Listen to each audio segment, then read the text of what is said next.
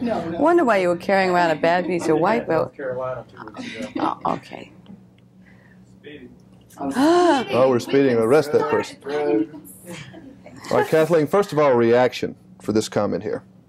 Someone should give this brainy beauty something more than a finger to chew on. I loved it. I loved that comment. What does that mean? Well, it means in The Man with Two Brains, you know, one of the most outrageous things Dolores, the character, did was to give Steve Martin her finger to suck on to keep him happy. So uh, I think he meant that, you know, we should move on from there.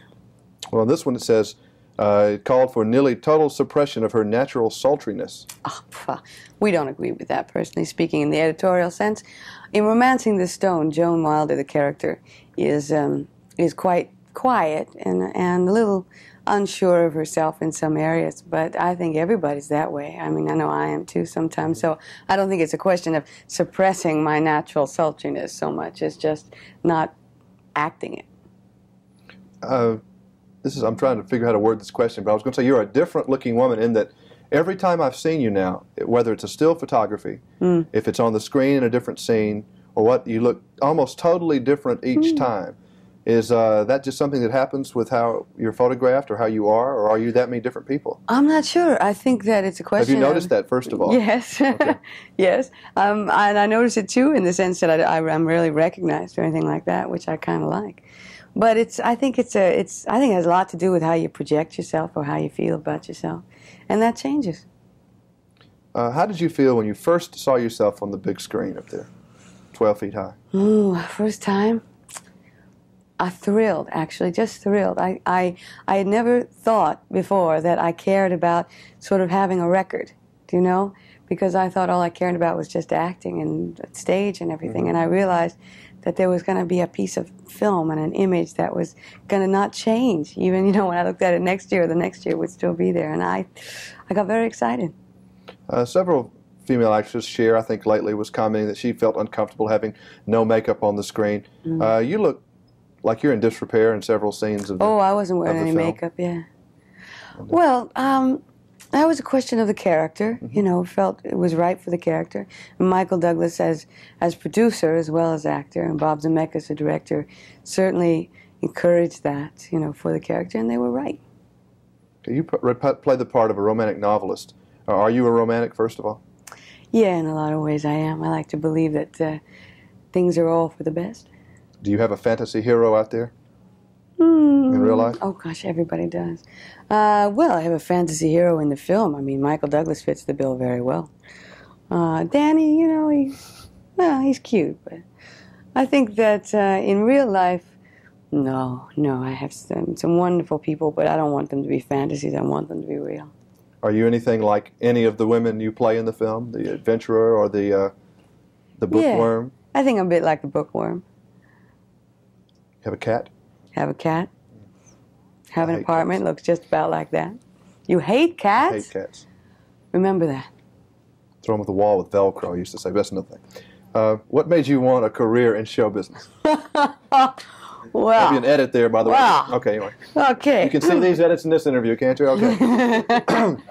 What? Oh, because of the work, essentially. I mean, I think that it's the only job I know where you get to, you get to live all these different lives all the time, and I think that's great. I think it's exciting, and they pay you to do it. Well, you were a suitcase child.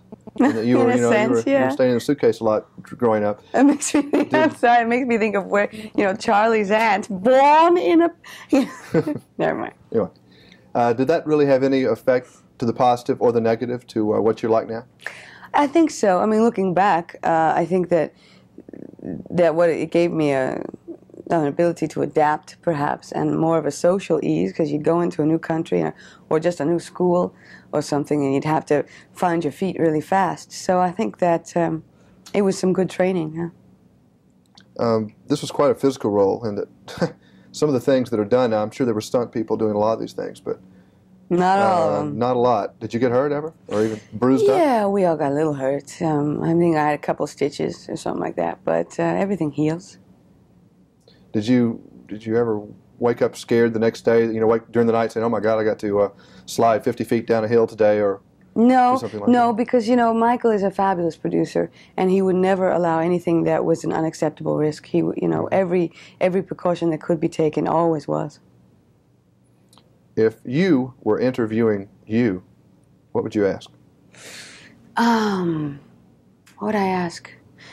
I'd ask, you know, the the thing that interests me about me. Oh, this sounds awful. Is uh, how many people could you be?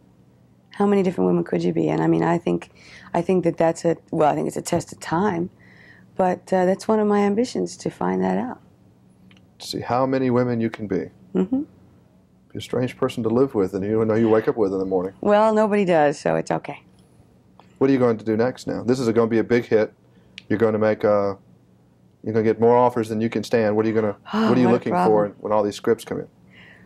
Oh, well, roles that I haven't uh, touched on before, roles that, and the people to work with. I mean, I, the most exciting thing now is to have access to some of the best directors and uh, some of the best material that uh, that's being done. So I think that that's uh, that's what I'm looking for. How is uh, how, how have your family members? Either I guess there are. Where are your roots? Missouri, is that right? Well, my mom lives in Missouri, yeah, and my grandparents. How's so that's sort of the to all family these base. things? Body heat, and uh, have they seen this film? Yeah, my mom saw it uh, the other night. Came down. Um, she loves this one. She loves this film. She really does. She got quite upset when the when the villain tried to kill me, but um, she thinks my work is good, and I think she's proud of me. It's interesting. Well, thank you a lot. I'm sure you're going to do Thank very you, well. Jimmy.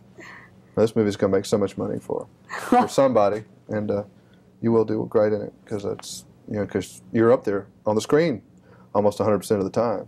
Yeah, So that's uh, great. nice. I did enjoy it. It's a fun movie. I'm glad.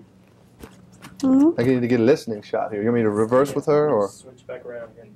okay? Do you have points in this form? If you edit them in right, they do look okay. More iris, we need more iris. All right. I need more iris too. If you can get her over here, I'll take a couple. Manual iris.